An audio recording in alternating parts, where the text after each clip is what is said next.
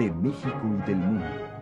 Las mejores manifestaciones artísticas de 17 países, reunidas en el magno escenario del Centro Histórico de la Ciudad de México.